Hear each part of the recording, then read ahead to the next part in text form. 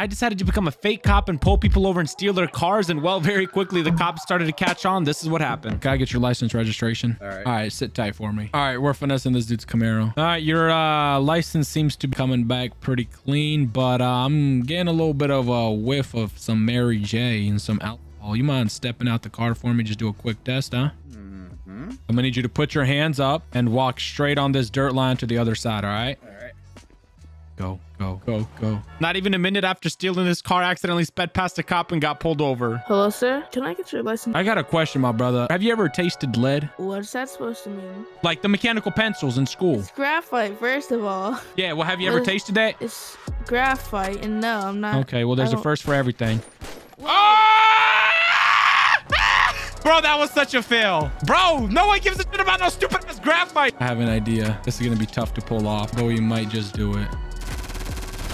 No way.